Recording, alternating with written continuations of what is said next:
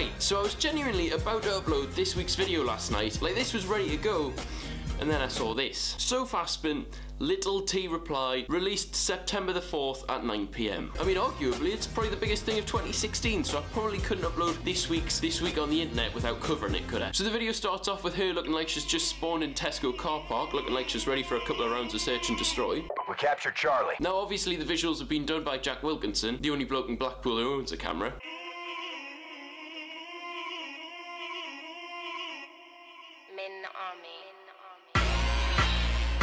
Am so ready for this.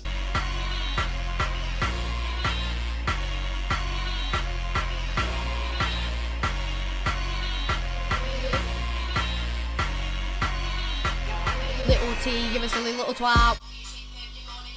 Your shit balls, you're gonna get whacked. Send it for me like I won't send back, but PBT gives one thing that you like. PBT, yeah, Josh, that's a fact. And in this reply, I'm gonna go deep like your mum when she's shagging every week. Fuck that, that shit's peak. You fucked it now that you started peak. You fucked it now that you started peak. Oh, imagine if that was your car. Like, imagine your car making it on to BG Media. Like, oh, the prestige. That's 100% her school uniform, though, isn't it? You're a muppet kid and you send it for me, but listen, yeah, Josh. 12 years old, you're a wet one, you're gonna get told. Your mum's pussy raw, looking like balls. Hang on. Is she sending for little T or his mum here? Like, we're about a minute in and she's already had like four digs at the poor woman. Wait, you see your mum she was shagging in bed, shagging in bed, that's no surprise. Oh, whoa, hang on. She better not be smoking tabs there. Take off a nickel, don't know with the bean, she'll shag it, fuck it, leave it, muppet. So that he got Casey's bucket, mmm, finger licking good. Mmm, you're gonna lose it, making that music, you don't abuse it, nobody views it. You'll just take, nobody views it. Nobody views it. Um. So clap, clap, clap your hands, your mum's got clap and you got no fans and you're walking round like you're a man when it ain't a rumour, Josh Tate ran. Took me long, yeah, I admit, but I have to reply to this little prick and I have to reply to this little prick, so this little prick can go suck dick. What a tune. What a tune. What were all of those digs at his mum for, though? Like, there was genuinely so many of them, she might as well have just sent for Mrs. Little T instead. Things about Little T's mum, according to Sophie Aspin. She goes deep when she's shagging every week. Her pussy is raw. She has the clap, she's a whore. This one's a little bit more complicated. His mother gets deeper and deeper when you poke her and leave her, and then she wants round two, ding ding. Her routine is take off her knickers, shag it, fuck it, leave it, mop it. And finally, she belongs in a zoo. Well, thanks for that, Sophie. So by the time I'd finished watching this, right, I was curious to see what Callum would think of it. My opinion on that, Will and E, was actually it was really good. Um, Afghan Dan had given me a bit of a false impression on Grime, I think. It had to be really repetitive and have no real climax to it. She was actually proper rapping it, that little chew it, munch a little tea. Loads of disses. It's actually inspired me. I'd kind of ignored Afghan Dan because I got bored of him, but actually I see Grime could be good and I'm going to do what Sophie Aspin said and go deep on Afghan Dan, I think.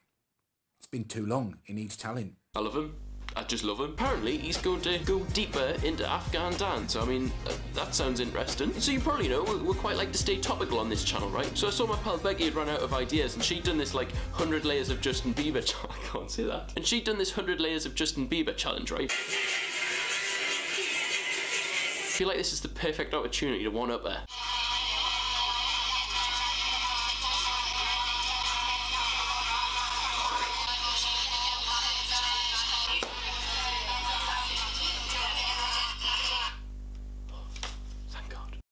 I'm back. Oh, Jesus Christ. Right, so this, this is Misha, the kid who 100% has to be related to Ellen DeGeneres in some way, shape or form. And this is his Song for All Haters for Kids.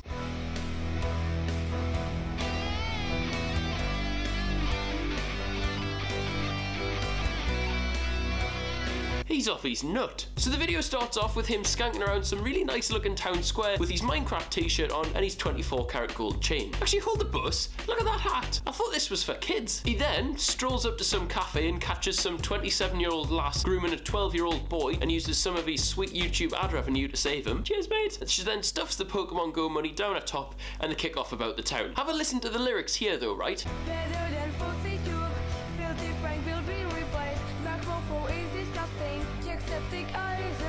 This is apparently a song for haters, but he's just said he's better than FouseyTube. Filthy Frank will be replaced. Some person whose name I can't distinguish is disgusting, and Jacksepticeye is a clown. He's hardly replying to haters here. This is bloody cyberbullying. This is. It carries on though. He finds another AdSense-loving female to add to his collection, and they kick off back again. Look at the disgust on that woman's face when he does it though. Like this actually happened. Like this was an actual thing that happened in public, and people saw it. Better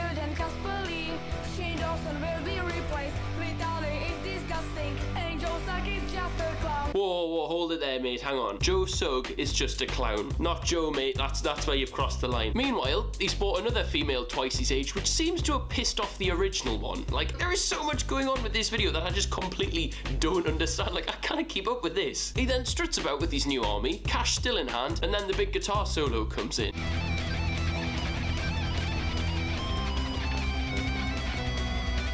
How many E numbers does this kid have? To be fair though, there's quite a lot more enthusiasm than the last guitar solo had.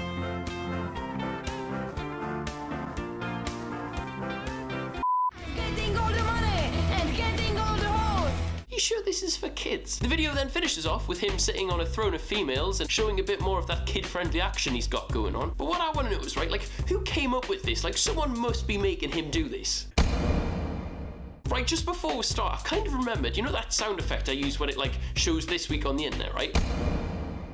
When I first made this series, right, I totally shamelessly pinched that from a channel called Filthy Fellas, right? And it's a really good channel, and it was just supposed to be a temporary thing, but I completely forgot about it, and I realised the other day. So, I mean, shout out to them lot, and I, I promise I'll find a new one for next week. Right, lads, it's been another hectic week. I've been exposed by this lad. For fuck's sake. Go away, Willany, go away. Fuck you, Willany. But I don't want to go away. Hang on. Is that supposed to be me? Fuck you, I'm going to do a hate video on you. Go away, Willany. Oh, nice one. Cheers, mate. Will and Lee. Will. Knee. Because it's actually Will. Knee. Will N E. No, but it's actually Willney. It, it, it's not. Will has three letters. N- No, no. Two take away. Two take away. Three is one. Illuminati has one eye. Um, I also got sent a message from Anonymous this week. A message to Will and EU have support by my fellow citizens. Keep up the good work about BG Media and Tic Tac. That was quite nice. Cheers, lads. Definitely was anonymous, not just some normal person with a computer. Right, so I know last week I said that I'd try and not talk about Callum or his corner just in any more videos, but the bloke's got so much going on, it's pretty much impossible not to. The good stuff, he's now hit 25,000 subscribers, which is cool, right? Someone made a rap video for him. Shut up about my head, about my head. Shut up about my head, about my head. and he loved it. And it doesn't end there, right? His war with Tic Tac, the company, came to a bit of a head, and he's created his own brand, Pick Pack Spasmoids. Interesting. Good luck with it, Callum. But my favourite thing he's done this week, right, is that he uploaded this video, like, talking about old school hymns that he used to sing, right? But have a look at the title of it. Hymns from my school days. Prob's pretty boring, and defo sounds awful. Like, I can't tell you how much I love that. Like, if every title on this website was as honest as that one, YouTube would be a better place. Now, you might remember, about a year ago, I made this video about those Irish traveller lads who are fighting a camera. It's absolutely awful, don't go back to it. But there's been another one that's came out and it's exactly like it. And this guy's Irish as well. Right, Bucko, this is me, Baldy. I'll accept your challenge, eh? Is this a thing Irish people do? Is like, you know, fight recording equipment or something? Like, wha- what is going on over there? And Jared Dolan, your Ann, and my Kinnick. When all I see you, I want beer to make you hands. You know what? I- I'd love to break down this video for you, right? But I've got no idea what he's saying. And Jared Dolan. Is that English? One thing that I can pick up, right, is that he's calling himself Baldy. But he's not bald. And I'm not usually one for personal attacks, right? But this kid has the strangest body I've ever seen. Like, he has the torso of a 50 year old bloke called Keith that you'd find in your local pub. But he's also got the arms of Keith's 7 year old son. Like, he genuinely resembles a snowman. There was also this kid this week. This fine young specimen is Joe, or your local bleach man. Actually, mine just lives three doors down. And if you couldn't already tell, right, he drinks bleach. Let's have a bleach shot. You ready?